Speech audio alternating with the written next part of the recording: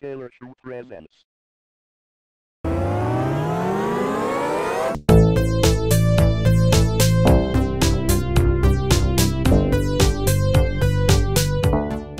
Nineteen ninety-two was a good year for fans of Footy Manager games. In that year, the two franchises that would go on to dominate the genre for the next decade debuted. One of them was of course the almighty Championship Manager, and the other is the subject of this video, Premier Manager. The story of Premier Manager starts with Gremlin Graphics producer Tony Casson receiving an unsolicited demo of a manager game in the mail. In an interview on the Gremlin archives, he recalls putting the disc in his computer not knowing what it was and discovering a management game, a genre he loved. He found a game that was simple and accessible, yet had depth. The person behind the game on Casson's disc was John Atkinson. Mr. Atkinson had previously worked for D&H and created some well-known games like Multiplayer Soccer Manager. The UI resemblance is pretty obvious. He brought artist Alex Kevin with him from D&H and they would work together as Realms of Fantasy on the first three games in the Premier Manager series. The Premier Manager game boxes are some of my favorite boxes of all. I love how Gremlin kept the style of the boxes similar but not exactly the same. It's easy to see they're part of the same series. The copy protection for all three games are these code wheels. There is something pleasing to me about the aesthetics of these, especially the first one with the kits, but they are kind of annoying to use. The first game in the series puts you in charge of a team in the Vauxhall Conference, the fifth tier of English football at the time. You don't get a say in the matter, you have to start at the bottom in the first three Premier Manager games.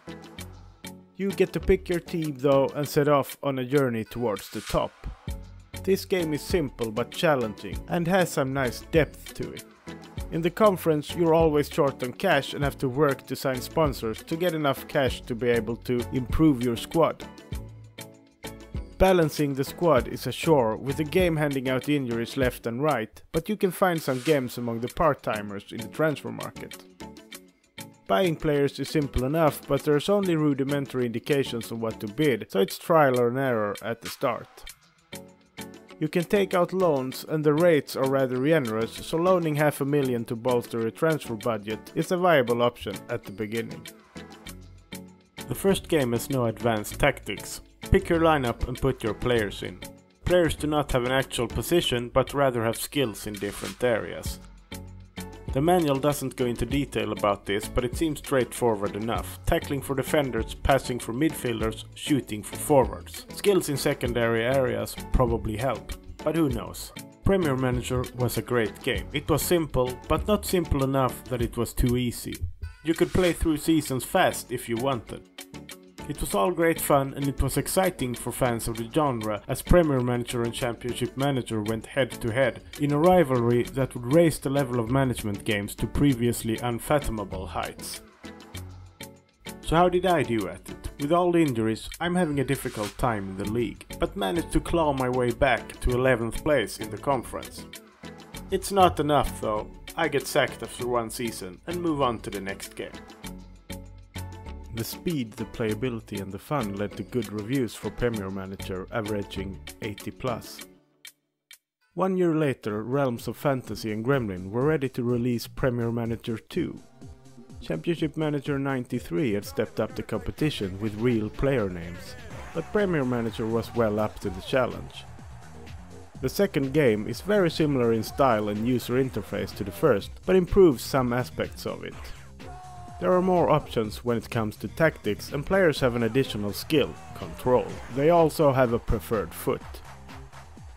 Transfers are still somewhat of a crapshoot, but eventually you'll develop a sense of what it takes to sign someone. It's a good idea to look for out of contract players still at clubs because you can sign them without the club fee. The business side is still paramount to success and you still have to put a lot of time into sponsors and into balancing your staff budget. Finding and signing staff is easy enough, but if you're not careful, you'll end up bleeding cash fast with overly expensive staff. As with the first game, you start in the conference and you have to work your way up. Injuries are better balanced this time around, and this makes it easier to balance your squad. You still have to reset training every time someone comes back from injury, which is tedious and unnecessary. If you forget to set training, skills drop much faster than you can train them back up.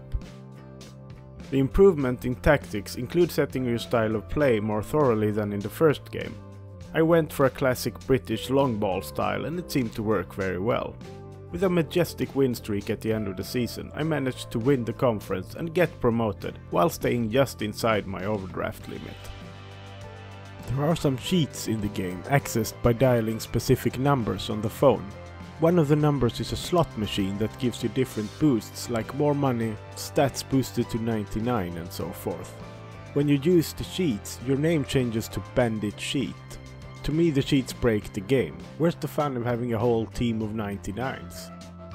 There's no fun in trying to extend contracts of all 99 players on a conference team budget either.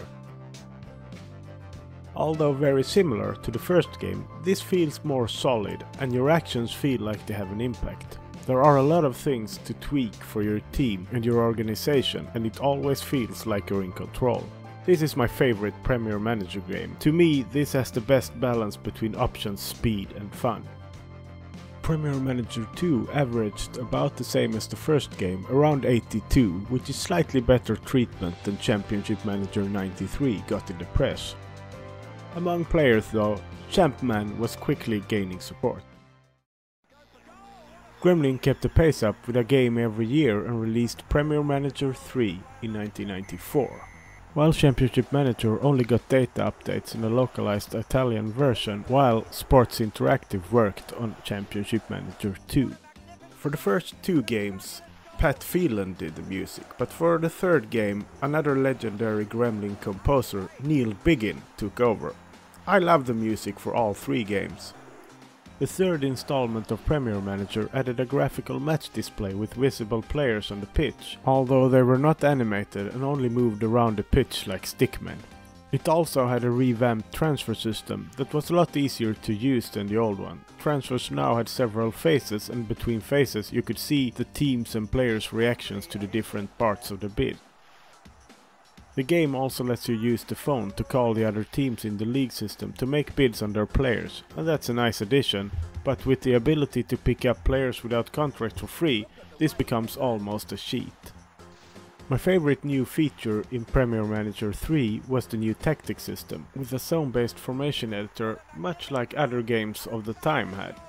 Combined with the ability to give your players detailed instructions for every position, this made for a powerful tactical tool. It was possible to exploit a little if you weren't playing fair. The individual instructions included setting passing length and rate of passing to dribbling and the likes.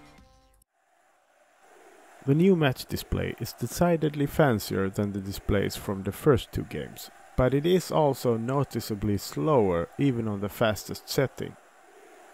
The stiff little men on the pitch get in the way of the ball too and makes the flow of the game kind of hard to follow.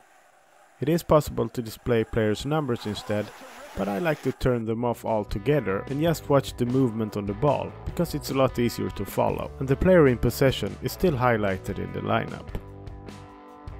When picking your team, you now have the option of picking a used up Halifax town that includes the makers of the game, John Atkinson and Alex Kevin as overpowered conference players.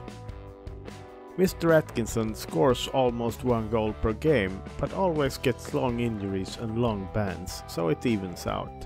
My Halifax town was shaky at first, but using the new tactics editor I managed to create a modern 4-2-3-1 tactic that worked okay after a little tweaking. I almost got back to the top of the league by the end of the first season.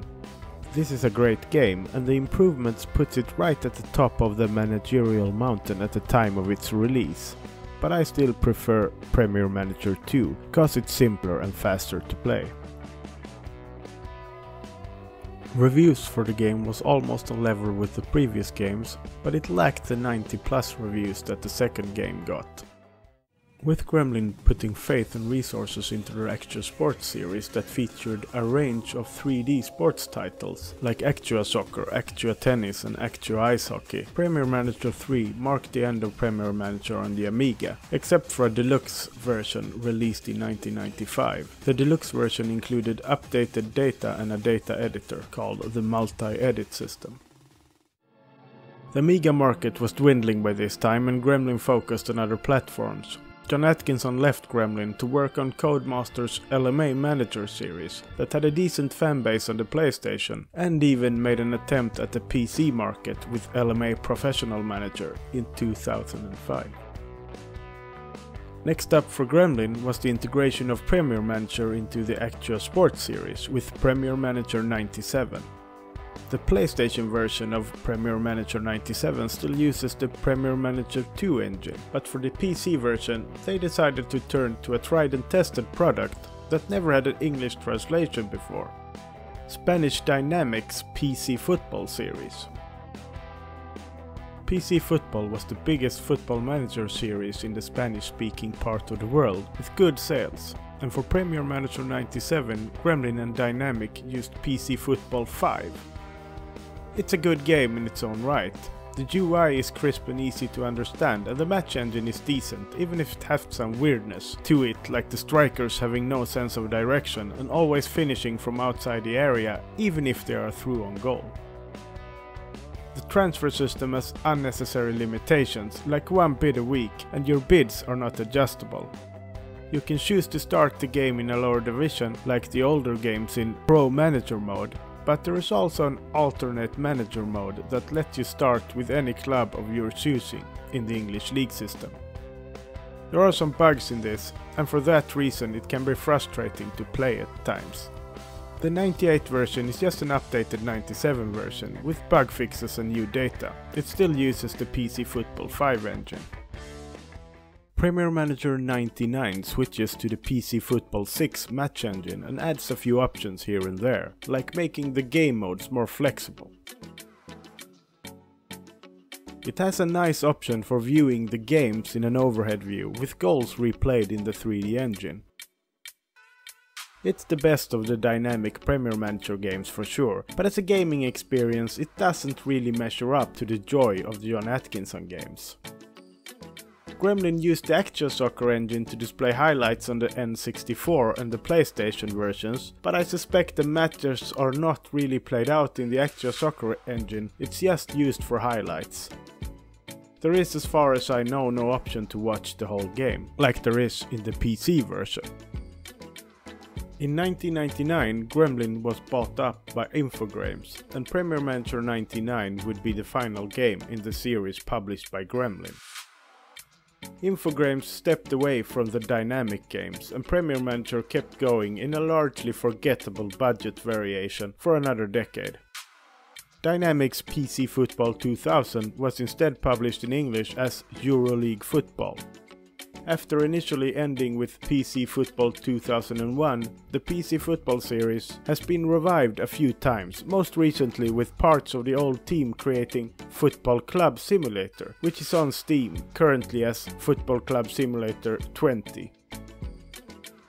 So far, the yearly updates has come free for owners of previous versions, which is a nice departure from bigger companies' habits of charging full price for what is more or less reskins.